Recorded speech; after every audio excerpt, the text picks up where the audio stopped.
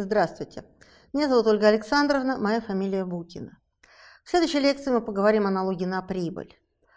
О том, какие разъяснения дает Министерство финансов и Федеральная налоговая служба в части исчисления и уплаты налога на прибыль.